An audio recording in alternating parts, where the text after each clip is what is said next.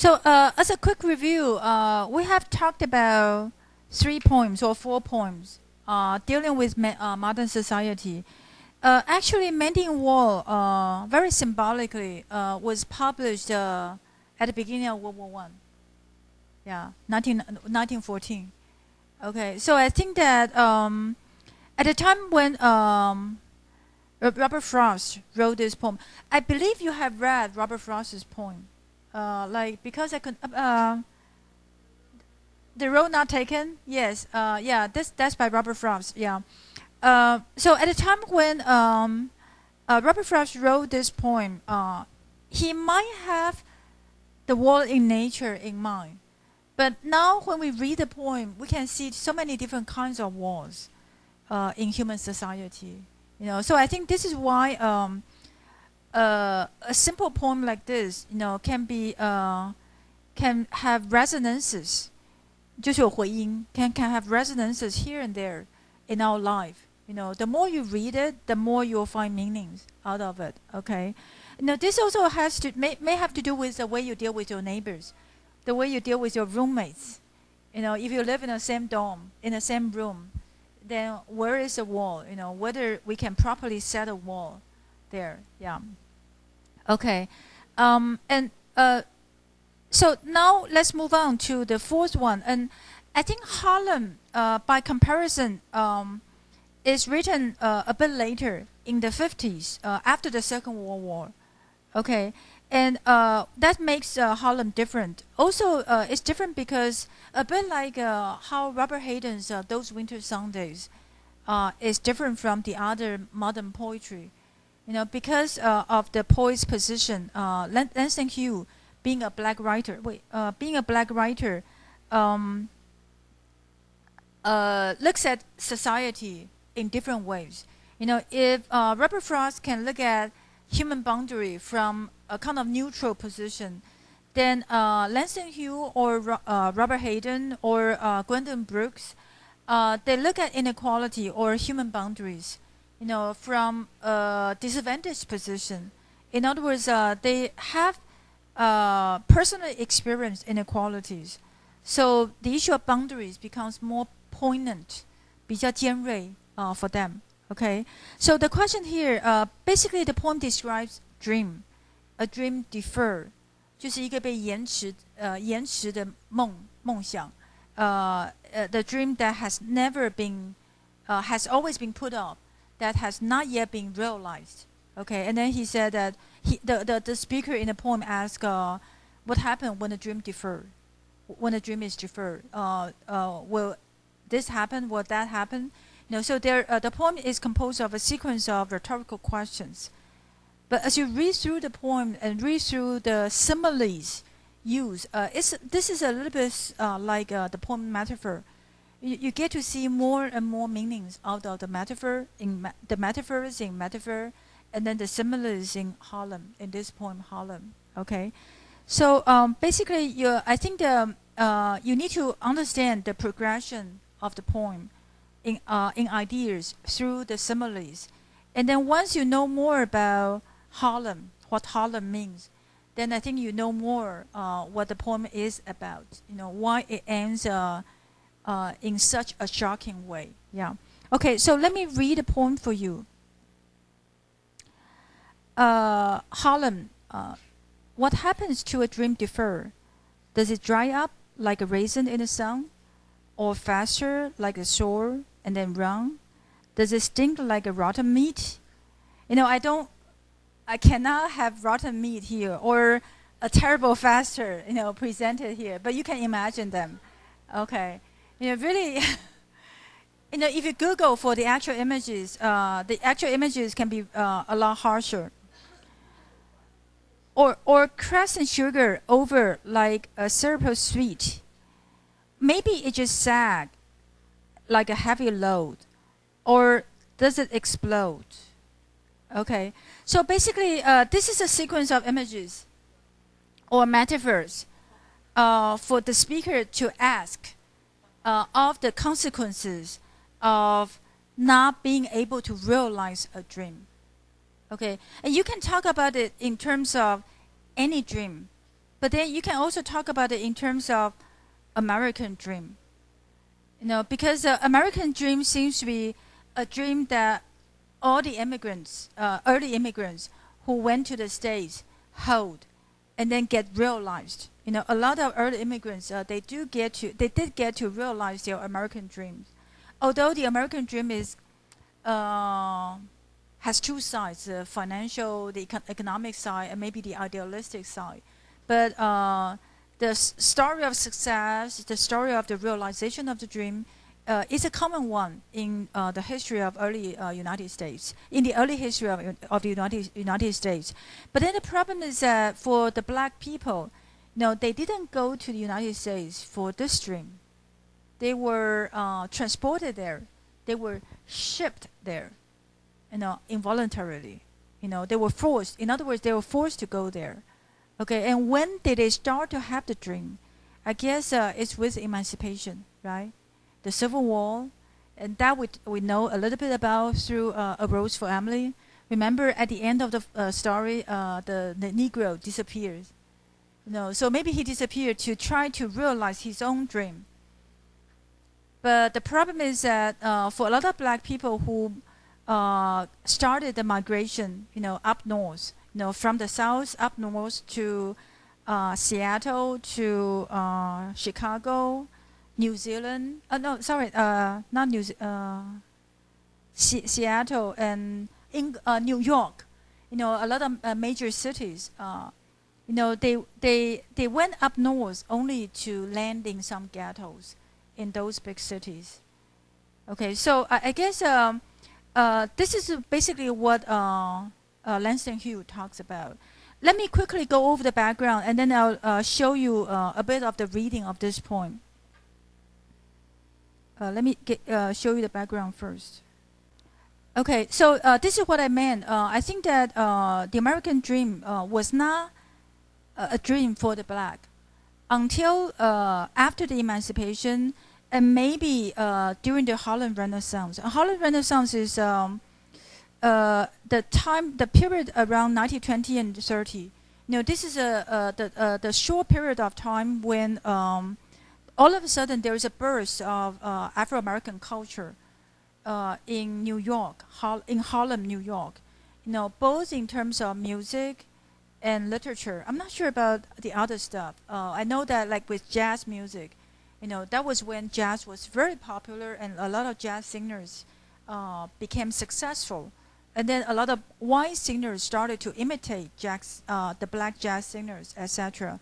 Uh, so Harlem Renaissance is uh, the kind of uh, one cultural climax uh, in the history of black culture, Afro-American culture in uh, the United States. But it, it was short-lived.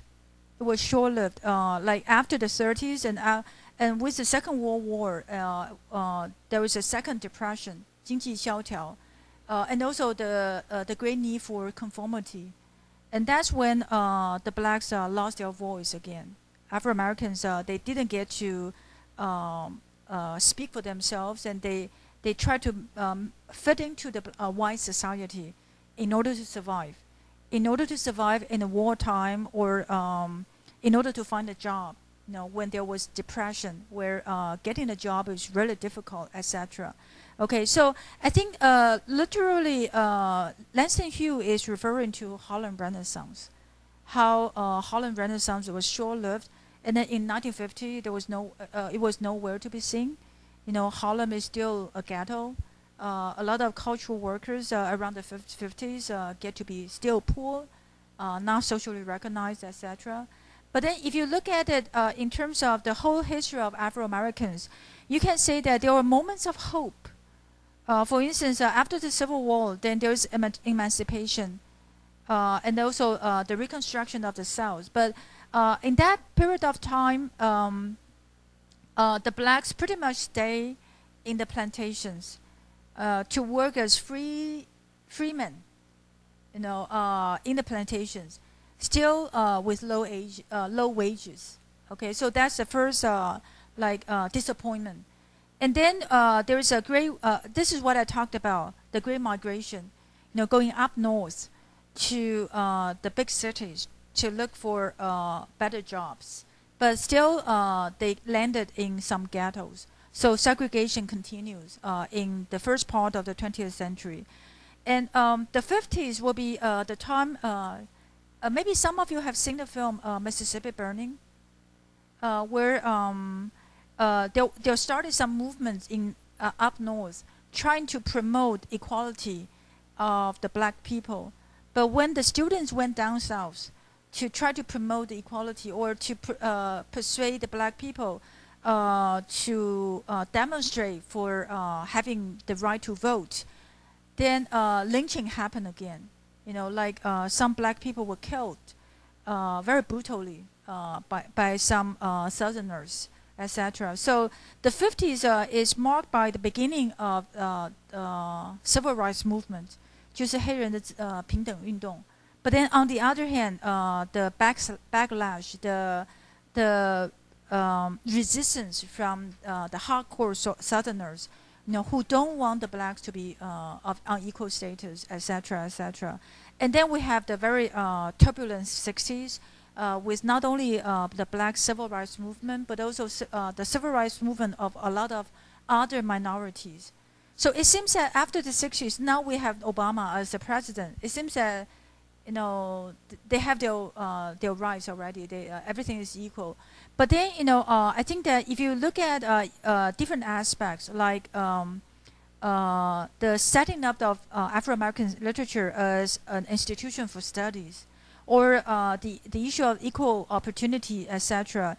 You know, or even the um, the income rates. You can still find that uh, most black, uh, more black people are in the lower realm of society than the white people, uh, and black people or the color people. You know, if we don't say uh, just look at the blacks, you know, the color people like uh, Latinos, Hispanics, or Caribbeans, etc there are more, uh, more of them in the lower realms of society than the whites, etc. Okay, so now looking at the history now, uh, although we have some model uh, to look up to, like Obama or some uh, uh, tennis players, basketball players, uh, um, Tiger Wood as the what do you call that? golf, golf player, etc. Okay, you have a lot of singular examples of success, but looking at it in terms of the overall rates, uh, like uh, the income rates, etc., you know, uh, they are still disadvantaged. So I think that's what uh, Harlem, uh, the poem Harlem, still bears some truth today. It's not like dated, no longer relevant today. No, it is still relevant today. Okay, so um, yeah then uh, you can, uh, let me give you just some clues to how you can analyze a poem. Okay, um, so basically, uh, looking at um, uh, these uh, similes, you know, one thing you need to find out is uh, how they develop. You know, how there is a pattern. For instance, at first we have raisin. Raisin seems to be edible, but raisin is dry up. You know, something dry up uh, in the sun. Okay, and then um, we have uh, the apparently edible, and that is a sugar-coated pill. You know, so we have inedible food versus the apparently edible food. You know, uh, and then all the wrong things, uh, like from fruit like raisin to candy to uh, a, a, balloon that sucks, to a bomb. You know, so uh, from if you examine the progression of similes, you find out that uh, the disappointment is more and more serious, and the sense of resentment becomes stronger and stronger. Yeah, so I think this is uh, one thing you can uh, try to look at, you know, to uh, to find out more meaning. Uh, like um, at first, um, uh, there is a um, um, the sword that that run with the the, the uh, the faster sword that run with uh, the faster part uh, running. Okay, and then we have the rotten meat. You know, so um, the metaphor does get to be more and more uh, uh, serious in terms of the destruction, or uh, but then on the other hand, there is a the maintenance of the apparent beauty. You know, the syrup, the the sugar coating, you know, seems to be a, a, a temporary reprieve temporary relief from uh, the disappointment. But then, you know, uh, this uh, sugar coated coated uh, thing uh, or sweet becomes a, a heavy load that uh, weigh on one's mind. You know, because one is disappointed, and then uh, uh, at the end, uh, one um, maybe the disappointment explodes in some violent anger. Yeah, indeed, uh, in the 60s, um, uh, in the Black Civil Rights movement, uh, there were two two major camps. One led by Martin Luther King, who follows Gandhi in the in the belief in civil disobedience.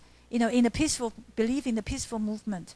But then on the other hand, there is a Black Panther, you know, who is more violent, who is uh, also more uh, separatist. They just don't want to mix with any whites. You know, so I guess uh, maybe the Black Panther could be representative of the kind of anger that uh, happened to them after they are uh, always being disappointed.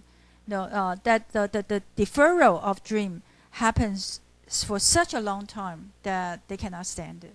Yeah. Okay, the last point. Uh, the last point is very easy, and um, if you don't pay close attention to what it tries to say, it seems that it's just a matter of recording, like a journalist recording of what happened.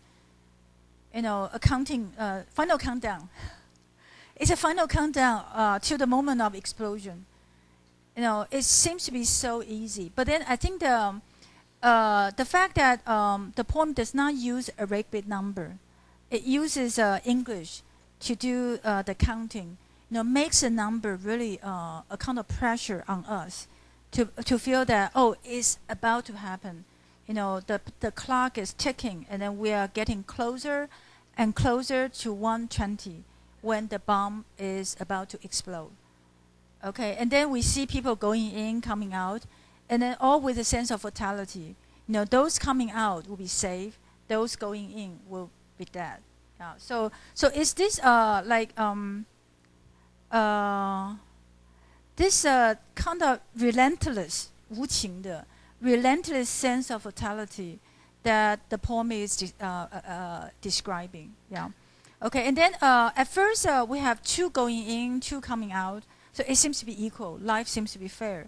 But then we have a woman in green something, green scarf or green hat, who may have gone in. Okay, and then the other person who should have gone out, uh, come out, but he goes back to, to for, for something of his. Okay, so we have uh, somebody who is really unlucky, you know. So so it, it all shows how um, time uh, the, uh, chance seems to rule over our life, you know. But the the problem is that uh, this type of chance or risk, you know, does not just happen to these people. It could have happened to us too. Remember after 911, there was a moment when uh, uh, people are afraid that you know some terrorists, uh, so-called terrorists, can, can, could come to us because because uh, Taiwan spoke up for uh, the United States. You know, so I guess uh, um, and then it happened to Bali Dao, you know, somewhere we we used to go to, etc. So I guess this sense of risk, you know, is all prevalent, and that's what the poem described. And what is the most ironic here is, uh, is the title, The Terrorist He Watches. Because uh, usually we say that um, uh, man proposes, God disposes. So God watches over us. Now it's not God that watches over us, but the terrorist he watches.